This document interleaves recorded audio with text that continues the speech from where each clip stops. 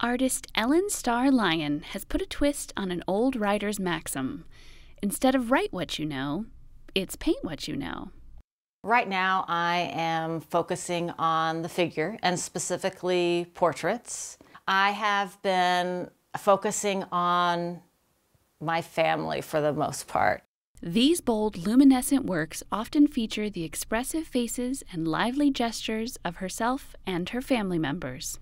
Working on my skill and getting back to the figure has coincided with my kids moving into these teenage years. You know, their emotions are off the charts and they express them in a way that adults do not. To have these live models who are around me and emoting extravagantly and um, I can capture that, that has been um, really exciting, and I think that has really pushed my practice. As a busy working mother, practice wasn't always easy to come by. She had to find a balance between art, work, and life. How do you do a job, be a mother, and still have a studio practice? One of the ways she made it all work was to set up her studio in her home. It has worked really well for me to to get back to my studio practice of doing a few hours at a time to have it right here. I will come back from work and I will come to the studio and I will put a couple hours in before dinner. And I'm very grateful that I have a spouse who takes care of the cooking, so I don't have to worry about it. It's one of those practical details that you don't hear artists talk a lot about. It's like, how do you make this work? How do you find that balance? It was also important for, for me to have my kids see me put real time and energy into something that I love and see that, you know, mom still works because there's a reality of paying the bills, but this is something really important to her and she's still putting that time in. It's from this rambling dining room turned studio itself a work of art, that she puts in the time and energy to craft ethereal, light drenched images snatched from her own experiences.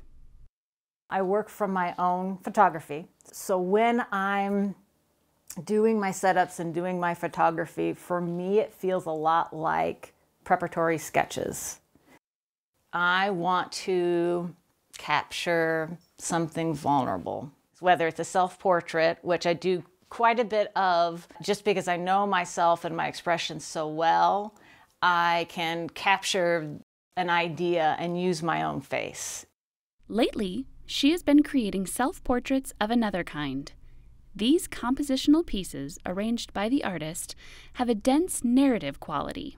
How do you build a narrative with still life objects? Not only are these all like living things, living plants. They're plants that I've grown.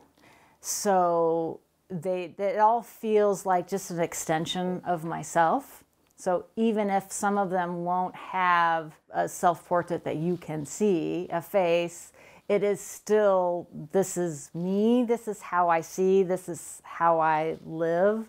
And I do that all around my home. I'm constantly like moving furniture, moving plants, moving little glass things with water and marbles for the light to pass through. So it's, it's just a part of me and who I am.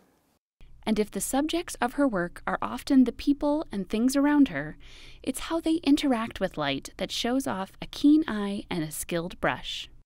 I'm just fascinated by the play of light over surface, so light and shadow. The effects that you can get from natural light you cannot get elsewhere because it's coming around things and it's modulating uh, and you see a lot of reflected light. So that gives your eye this idea of space. With this particular painting, I did several washes in lights and darks because I really needed to get my head around where that light was passing through eh, before I started to add a lot of color. Like for this glass float, it itself is transparent and it's green and what are you seeing through it? So the color changes, it blurs the lines. So thinking forwards and backwards to get to accomplish what you want to accomplish. To be as accomplished as Lyon is no simple matter. It takes time, dedication, and focus. It's just not uh, you feel struck with inspiration and you run to the studio and you create wonderful. No, no, no. Um, in my experience, at least, it's a lot of hard work and time spent. And so when I finally was just honest about what could my schedule tolerate, what would give me time in the studio, what would give me still family time and time for everything because it if you don't find that balance, you will not have a studio practice that endures. For Lyon, it's that balance that makes her painting special. Bringing her studio into her home and her family into the work makes for striking and intimate images that hit close to home.